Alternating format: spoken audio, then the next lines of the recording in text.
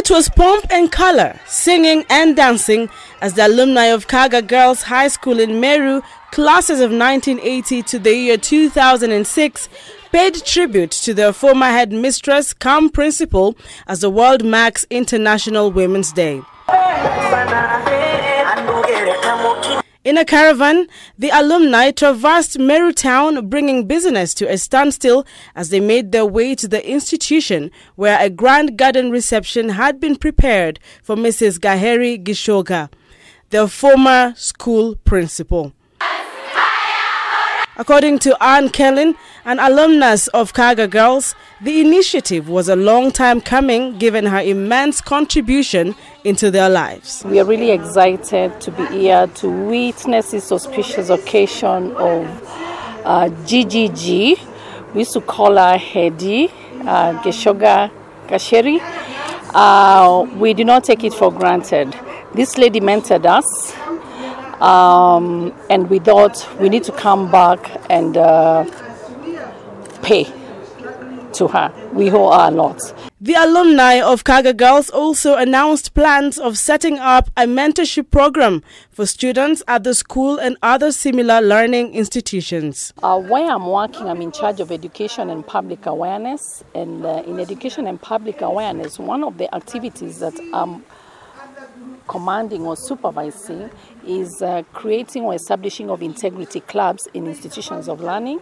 Institutions of learning, it cuts across from the lower level, children from primary school, all the way up to tertiary. Mercy Chidi Baidu, the director, Ripples International, an organization that offers care for the sexually abused and girls rescued from FGM and early marriage, also took part in the fete. What she molded us uh, to be, uh, the effort that she put in us. I personally did not qualify to go to Kaaga Girls. I failed. Those of us who know uh, the old system of Division 4, it's equivalent to a D. But I went asking for a chance because my parents had wanted me to go and become a cop, police. But when I went to school asking for a chance, Mrs. Geshoga looked at me and said, You seem to be very confident about yourself. I'll give you a chance. Gishoga Gasheri served in the position of a headmistress and subsequently a principal of Kaaga High School from the year 1976 to the year 2006.